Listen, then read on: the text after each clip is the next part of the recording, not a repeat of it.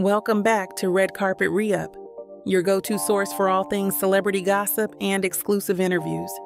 Today, we have a special treat for you as we sit down with none other than the fierce and fabulous Cardi B.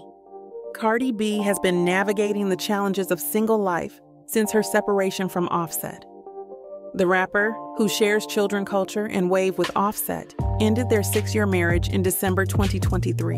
Coping with this new chapter, she has immersed herself in work to adjust to being single again.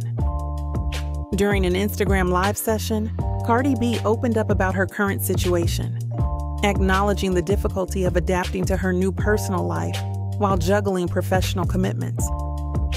Reflecting on her past experiences, she revealed similarities to her earlier years when she prioritized her work and distanced herself from others.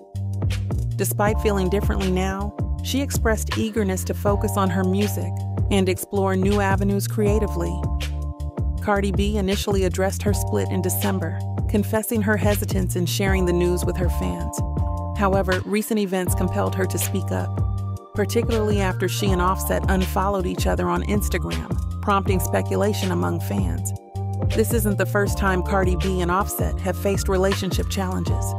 They previously separated in 2018 amidst rumors of infidelity, but reconciled shortly after the birth of their daughter.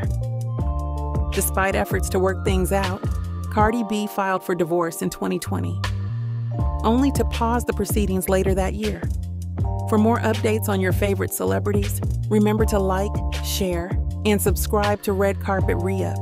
Until next time, take care.